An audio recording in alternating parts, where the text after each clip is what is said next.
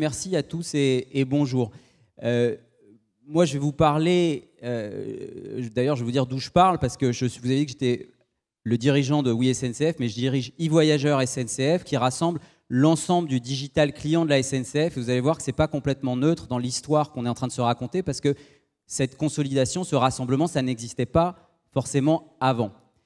Pourquoi parler de reboot aujourd'hui? Il y a de reboot des mobilités parce que les mobilités, s'il y a un secteur qui a besoin d'être rebooté aujourd'hui, c'est celui-ci.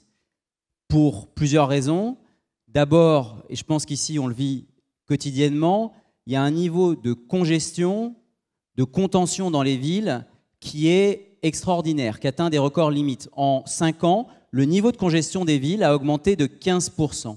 Si on continue comme ça dans les 5 prochaines années, dans les grandes métropoles, c'est simple, la vitesse moyenne tendra vers zéro. Ça, c'est la congestion dans les villes.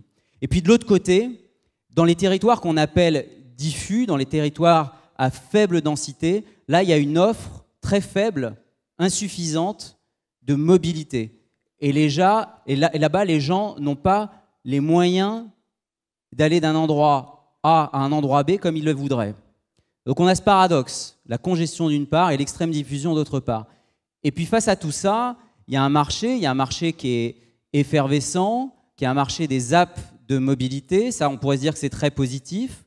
Il y a de plus en plus d'applications. Hein. Je crois qu'un Français a en moyenne 100 applications sur son téléphone. Les franciliens, il y en a 25% d'entre eux parmi les actifs qui ont au moins 6 applications de mobilité. Et donc on pourrait se dire que c'est très positif, mais quand on regarde les chiffres, on a l'impression que tout change, on a l'impression que tout change, mais en réalité, rien ne change. Rien ne change parce que la part de la voiture individuelle ne bouge pas dans le temps. Elle reste à hauteur de 82% dans nos déplacements. Donc on est dans un moment très paradoxal parce qu'elle reste à, ce niveau de 82%. Pourquoi? Parce qu'il y a un niveau de congestion très fort, il y a un niveau de diffusion très fort. Les gens n'ont qu'une seule solution, c'est la voiture, et la voiture vient créer le problème qu'elle est censée résoudre, et on est dans un cercle vicieux.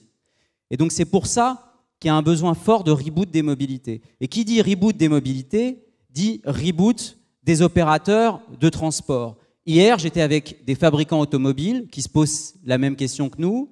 Chez nous, opérateurs ferroviaires, on est en train de se rebooter en se disant que d'ailleurs, nous ne sommes plus des opérateurs de transport, mais des opérateurs de mobilité, tout simplement parce que les gens ne vivent pas dans des gares, les gens ne vont pas travailler dans des gares, les gares sont sur leur chemin et nous, notre mission, c'est d'être un opérateur de mobilité, donc de conduire un individu d'un point A à un point B et de lui proposer des solutions.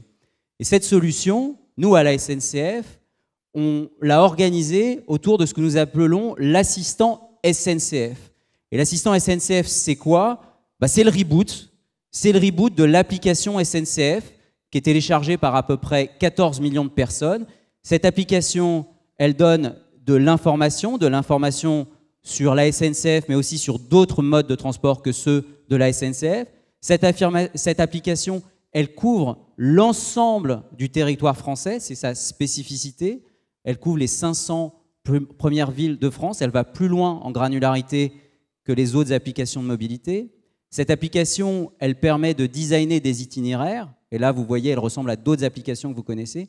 Et cette application, surtout, depuis le mois de juin, elle permet d'acheter des modes de transport, d'aller jusqu'au paiement dans cette application. Je sais qu'il y a quelques spécialistes du paiement dans la salle, donc vous savez que c'est extrêmement compliqué de faire simple quand on en est au paiement. Cette application permet de faire du paiement et d'acheter du VTC, d'acheter du taxi, d'acheter du scooter en libre service, d'acheter évidemment des places de parking, parce que si on veut que les gens abandonnent la voiture, bah, il faut qu'ils puissent la garer. Ça, ça tombe sous le sens, mais il fallait qu'on le fasse.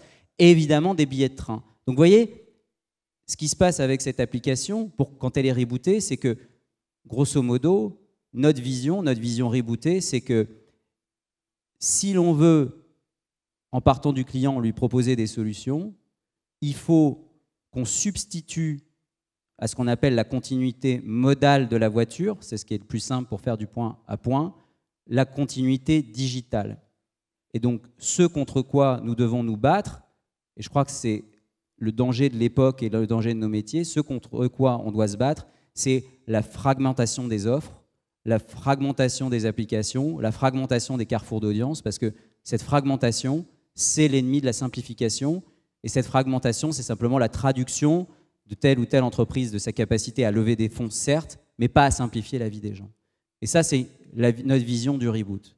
Derrière cette vision du reboot, il y a une méthode, une méthode du reboot. Euh, je parlais de simplification, mais il y a un premier point, c'est que quand on démarre quelque chose comme ça, il faut taper fort.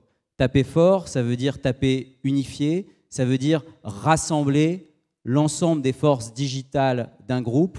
Pour ceux qui sont dans un grand groupe, vous le savez, la fragmentation interne, c'est parfois le plus grand frein à notre progrès, à notre innovation. Donc un geste fort, ça a été un geste de rassembler l'ensemble des actifs digitaux en une seule et même maison.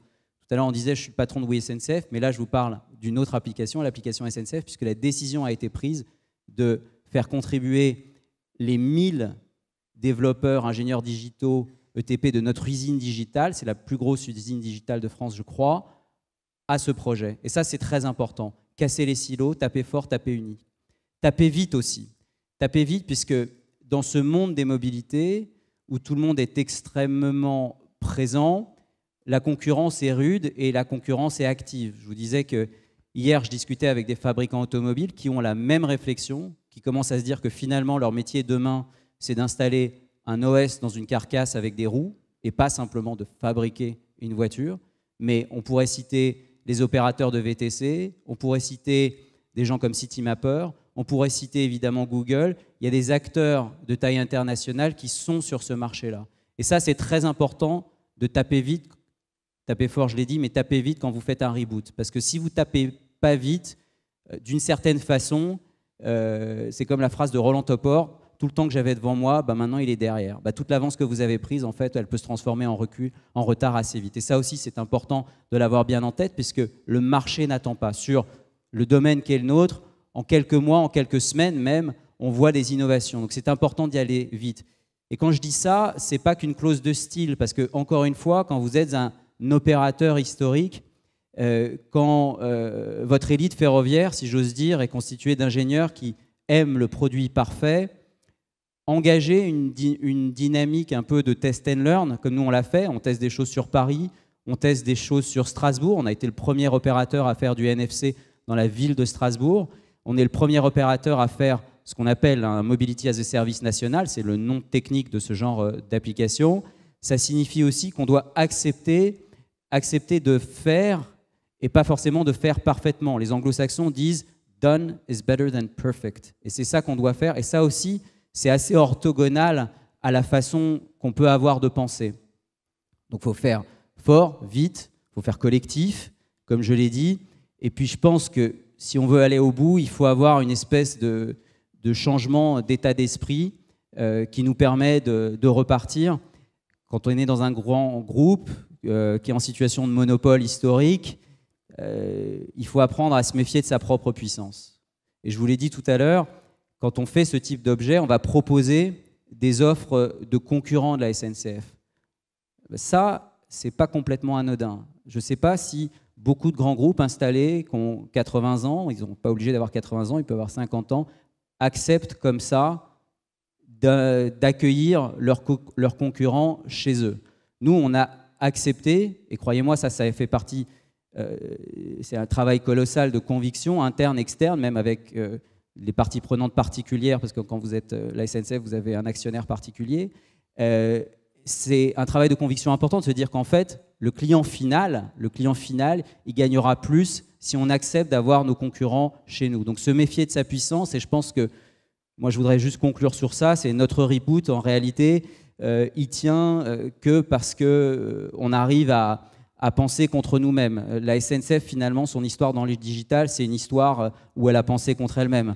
D'ailleurs, même avant le digital, parce que pour les plus âgés, donc les gens ne se souvenaient pas du slogan, mais je sais pas, alors là, je vais encore plus loin dans le temps, mais euh, souvenez-vous qu'il y a quelque chose qui s'appelait le Minitel, et quelque part, la SNCF pensait avec le Minitel contre ses propres guichets. Puis un jour, il y a eu Internet, et la SNCF a pensé que finalement, ce truc qui s'appelle Internet serait plus puissant que euh, le Minitel. Donc j'en finis là. Bah, nous, on pense qu'accueillir nos concurrents chez nous, faire du mobility à ses services, c'est une façon positive de penser contre nous-mêmes dans l'intérêt du plus grand nombre et dans l'intérêt évidemment de nos clients. Merci beaucoup.